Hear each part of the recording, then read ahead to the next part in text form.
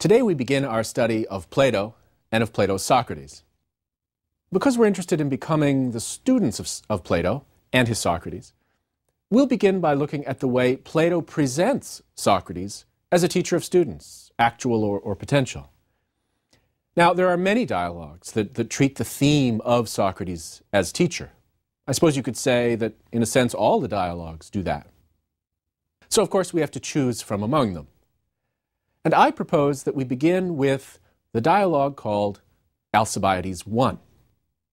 Now, it's a relatively short dialogue, and so it's, it's easier of access than, than some. And there is a tradition dating back at least to the third century AD, according to which the Alcibiades I is the first dialogue that ought to be studied. The Alcibiades I introduces the relationship between Socrates and Alcibiades that Plato evidently thought was very important. Why? Because Plato presents Socrates and Alcibiades together in a total of four dialogues. And those dialogues chronicle the beginning, the middle, and the end of their time together. No other person, uh, apart from Socrates himself, of course, appears as frequently in the dialogues. Now, the four dialogues in which Alcibiades appears are the Alcibiades I, the shorter Alcibiades II, its companion, the Protagoras, and finally, and most famously, the Symposium. There, Alcibiades gives a very frank speech, after too much wine, about his relationship with Socrates. Now, I propose to do three main things today. First, I'd like to give a brief biographical sketch of Alcibiades. Who was this fellow? Then I want to discuss the Alcibiades I, and finally, I want to treat the other three Platonic dialogues that deal with Alcibiades. But we'll pay particular attention to Alcibiades' famous speech in the symposium. So, who then, who then was this Alcibiades fellow? He was, quite simply, I think, one of the most astonishing figures in all antiquity. I choose the word carefully, astonishing, for reasons that I think you'll see. He lived from uh, about 450 to 404 BC. He was an Athenian, born and raised. His father was Clinias, and he was killed in battle when Alcibiades was, was quite young. And so Alcibiades went to live with his uncle, who happened to be none other than the greatest democratic statesman in Athens, Pericles. Alcibiades was remarkably handsome, he was rich, his family was one of the most distinguished in Greece. In short, Alcibiades seemed to have the world by the tail. Alcibiades also had a staggeringly quick rise to power in Athens. In the course of the Peloponnesian War against Sparta and her allies, and while he was really still quite young, Alcibiades managed to get himself elected as one of Athens' generals. And not only that, he managed to convince the Athenian democracy to undertake a kind of mind bogglingly ambitious plan to conquer the very distant island of Sicily. Now, as, as the historian Thucydides tells us, Alcibiades lived his private life in a very extravagant way. For example, he single handedly entered seven horses in the Olympic chariot races, placing first, second, and fourth. This was a, a, very splashy thing to do. If you own two or three of the teams vying for the, the Super Bowl eventually, uh, something like that. And this extravagance on Alcibiades' part led the people, the masses in general, most of whom would be poor, to be deeply suspicious of him. What exactly is this guy going to do? What exactly is he aiming at? Now, it so happened that on the eve of Athens setting sail with a vast armada to conquer Sicily, which was again Alcibiades' plan, some young men happened to mutilate certain religious statues, what was taken to be a very bad omen by the masses. And Alcibiades' political enemies, he had, of course, political enemies, it shouldn't surprise us, they managed to link his name with these religious desecrations. And so, not long after Alcibiades set sail for Sicily, the people of Athens recalled him to stand trial for religious desecration. And again, it shouldn't surprise us that he said, No, I don't think I will go back. And so began his rather astonishing political ride. Alcibiades went first to Sparta, that is, Athens' greatest enemy, and he aided Sparta in ways that did real damage to, to Athens. When he wore out his welcome in Sparta, Alcibiades went to the third great power in the area, namely Persia, which was the traditional enemy of all Greeks alike. And there he sought to wield as much influence as he could. In short, Alcibiades managed to fight on three different sides in the same war. And even more amazing than that, he eventually succeeded in having himself recalled to Athens after all that he had done against his city.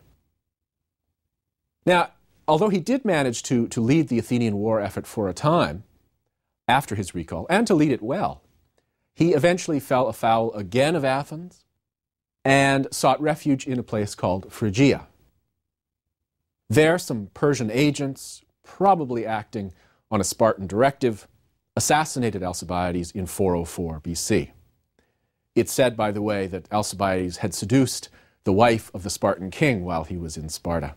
So if that's true, the Spartans had reason to want him dead. He would have been about 45 years old. Still, though, Thucydides' portrait of Alcibiades is, on the whole, favorable or sympathetic.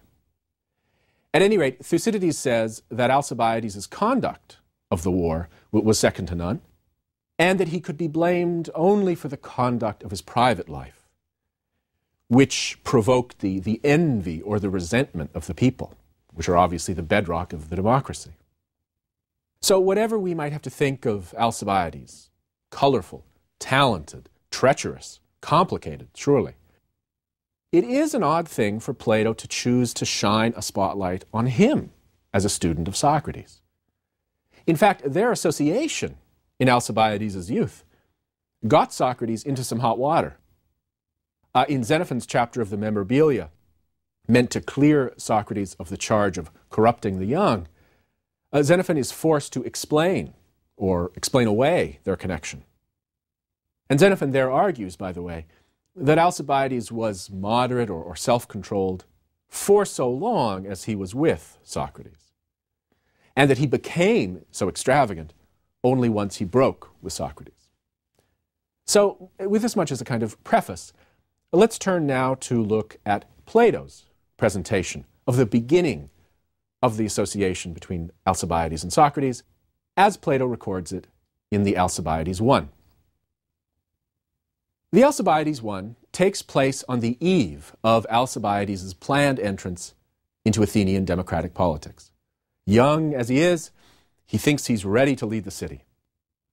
Now, we learn immediately that, that Socrates has been watching Alcibiades for quite a long time. But he's chosen this moment to speak to him for the first time.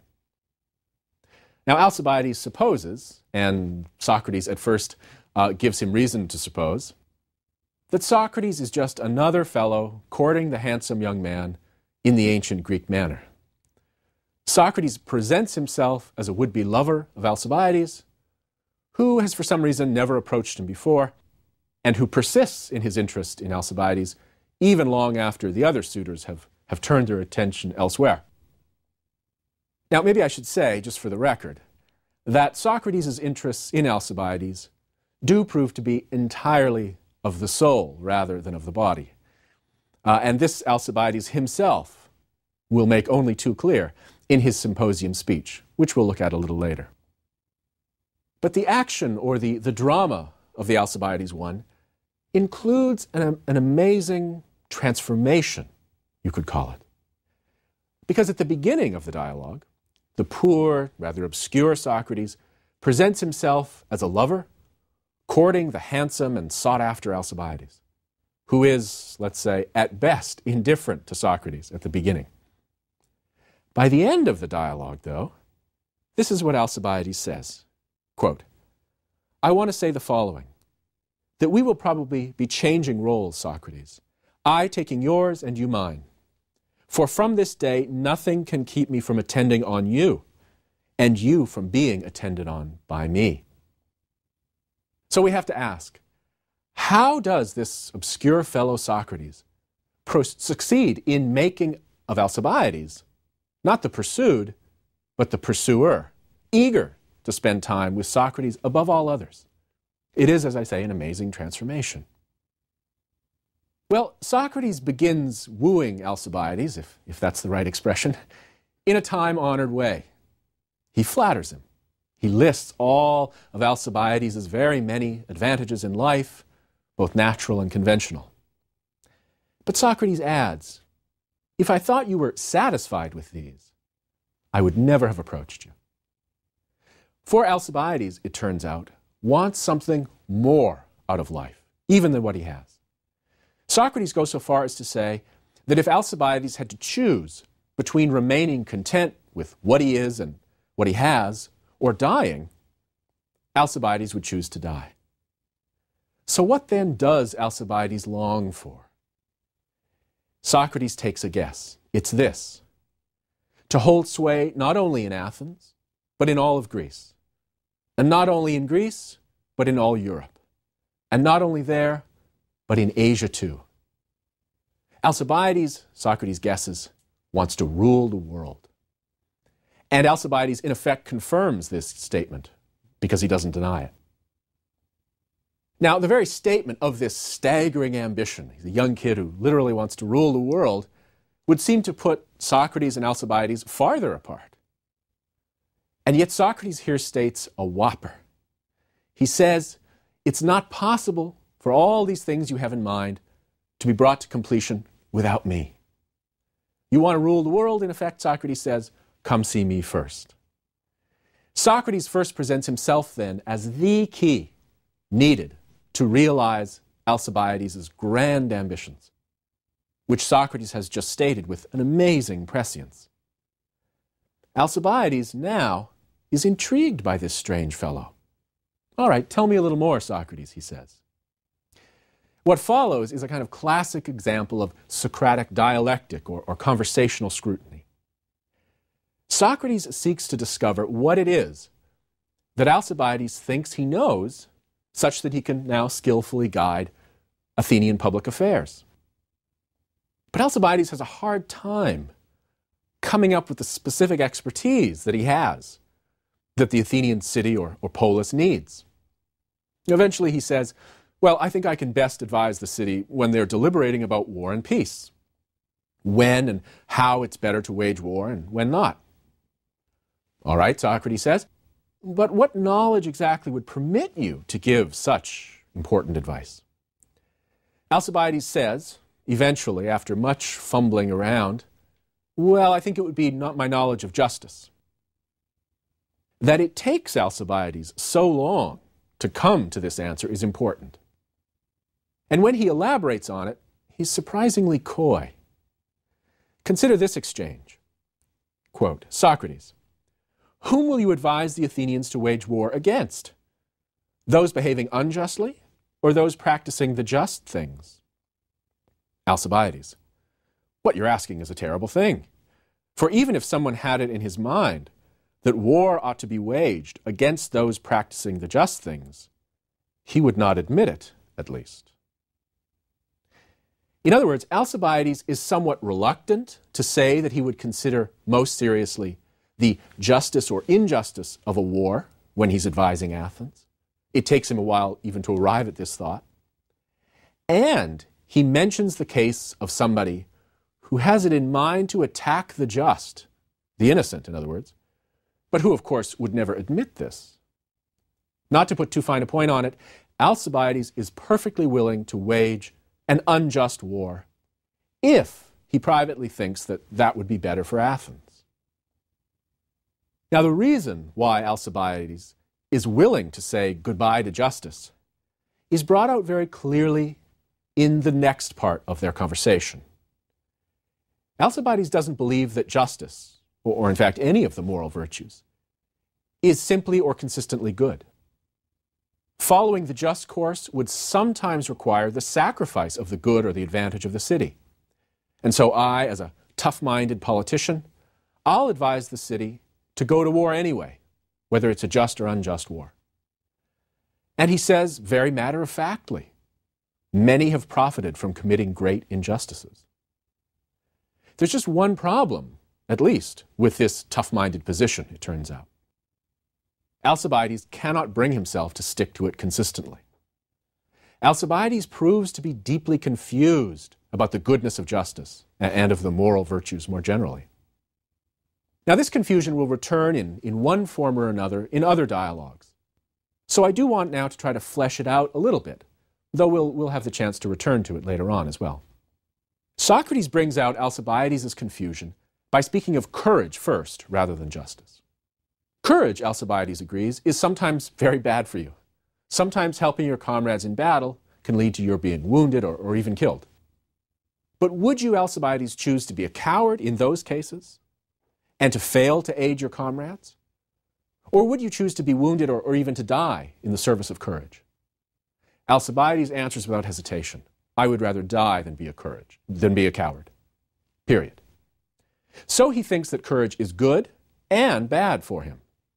I'd rather live than die because living is a very great good, death a very great evil, but I'd rather die courageously than live as a coward.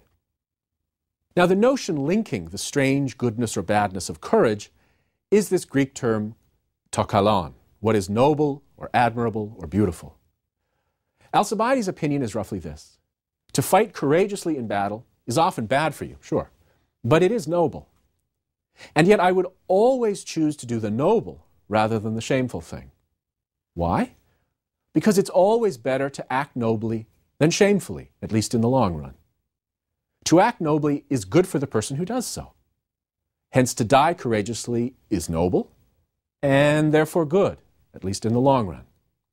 To repeat, Alcibiades thinks that courage is definitely uh, uh, bad in the sense of disadvantageous, and definitely good in the sense of advantageous because it's a noble thing to do. Alcibiades is of two minds then about courage. Now, when Socrates turns to apply this very reasoning to the case of justice, Alcibiades has to drop his earlier line of argument. He thinks it would clearly be noble or admirable to wage only just wars. Unjust wars are, of course, ignoble or shameful. But if, as the case of courage has suggested, what is noble is also always good, and what is shameful is always bad, then just wars have to always be good, unjust wars would always be bad. In this way, Socrates gets Alcibiades to retract his earlier view that acting justly could sometimes be bad, or that, or that acting unjustly could sometimes be good. Now, I want to stress that Socrates has not proved the truth of these propositions. He hasn't proved, for example, that justice is in fact always good because it's noble. But what he has proved, beyond any doubt, is that Alcibiades is deeply confused about justice. He thinks it's both good and bad. Alcibiades has proved to be a rather easygoing fellow in his thought, ready to abandon justice without ever having given it serious thought. And he's about to enter politics. Alcibiades, you could say, has blinded himself to his deep attachment to justice. He's not as sophisticated as he thinks he is. And this confusion Socrates has brought, up, brought him to see. He says, By the God, Socrates, I myself don't know what I'm saying. And I seem like somebody in an altogether strange condition. For at one time things seem a certain way as you question me, but at another time another.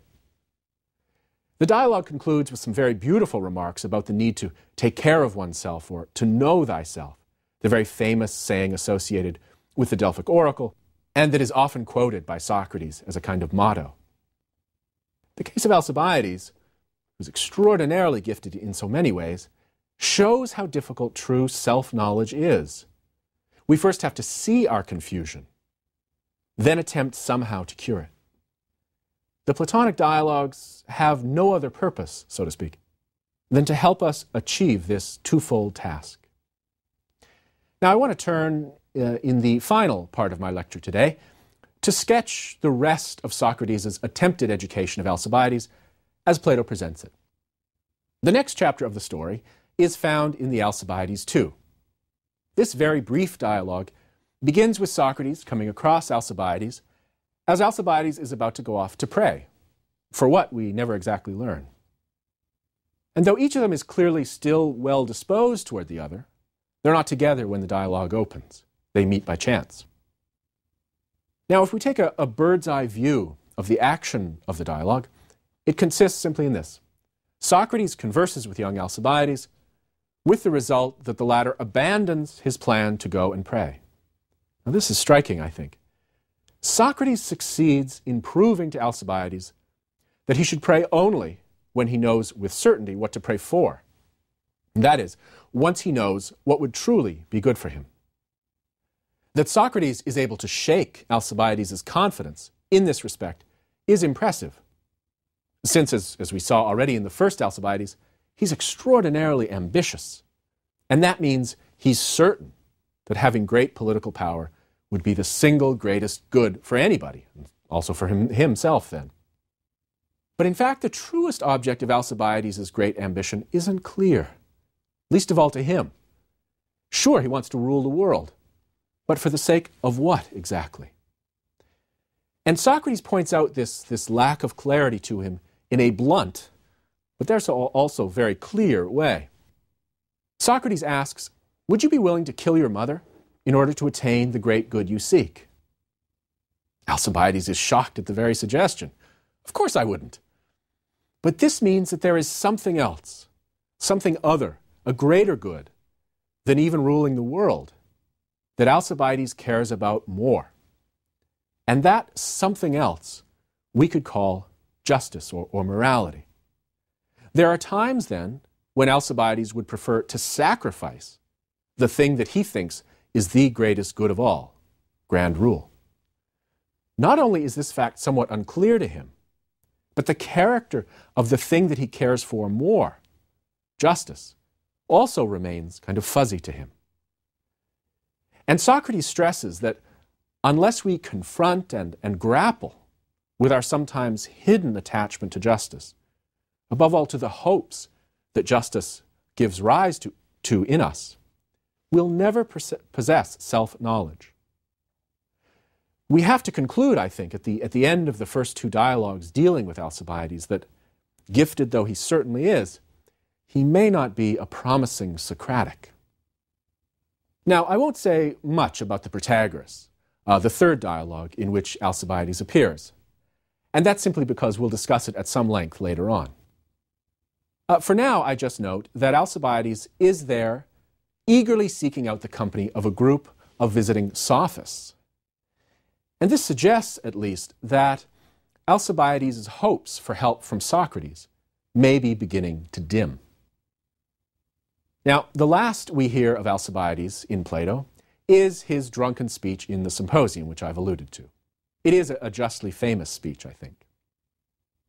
Toward the end of that great dialogue, after most have offered speeches in praise of Eros, that is to say, of, of the god love, Alcibiades bursts in, drunk, with a band of fellow partiers.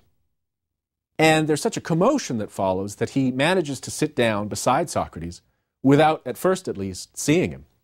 And he's, he's startled to see that Socrates is there. And then Alcibiades launches into a speech that, in, in its own way, is quite moving. It contains very, very high praise of Socrates, together with some, some pretty tough criticism of him. He even says that he sometimes wishes Socrates were dead.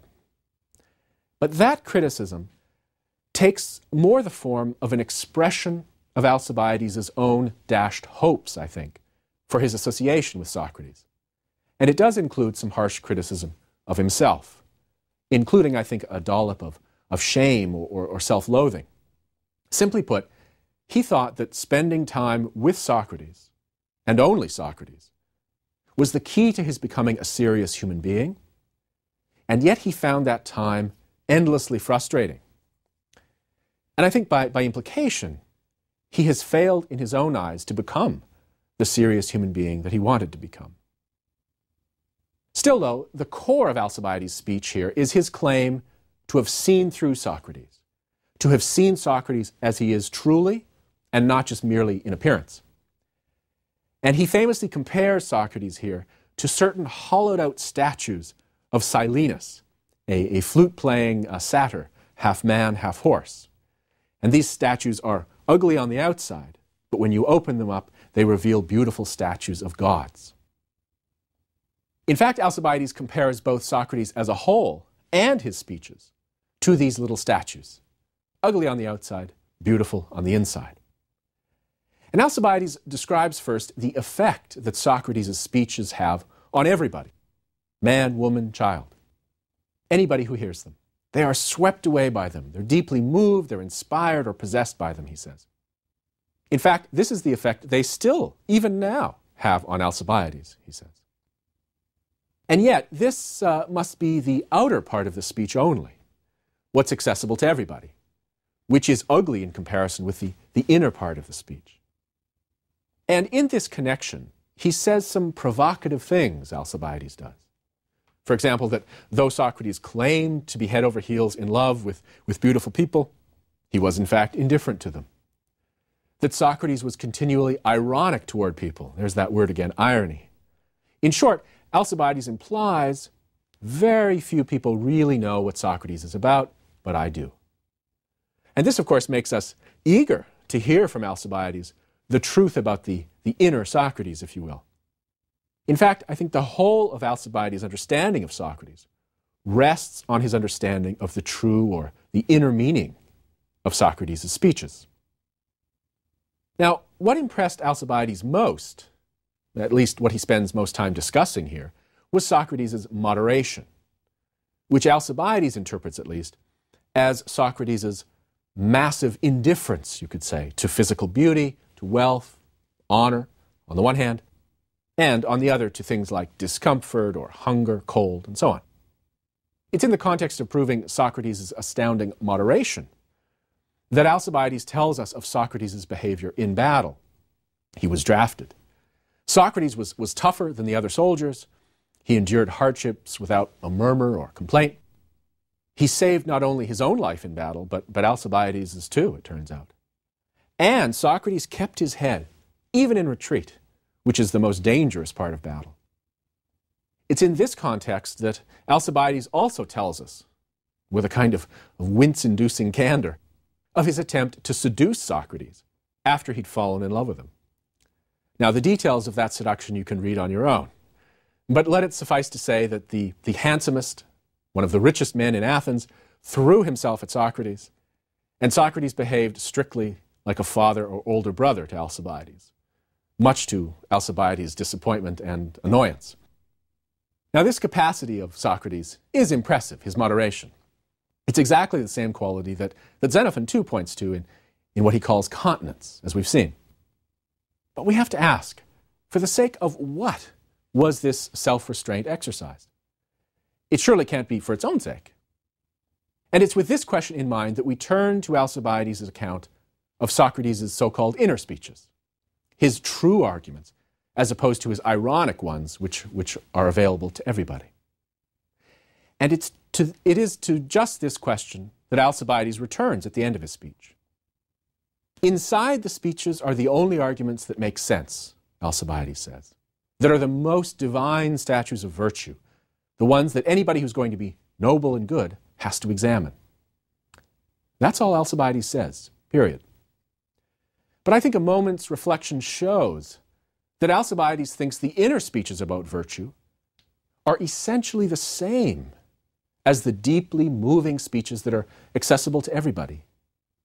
In other words, I think Plato shows Alcibiades has failed to see beyond the outer and deeply moving speeches, exhorting people to care for virtue, to the examination of virtue itself, and so on. Because this is exactly how he describes the supposedly inner speeches. But this is only to confirm, I think, that Alcibiades failed to see the puzzle that Socrates pointed him toward, namely, his confused understanding of the goodness of virtue and what it is that Alcibiades most wants in life and from life.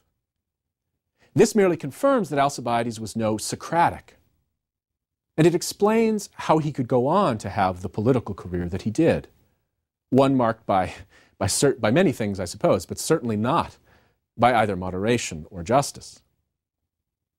Now, in the next lecture, we turn to this very topic Socrates as a teacher of justice.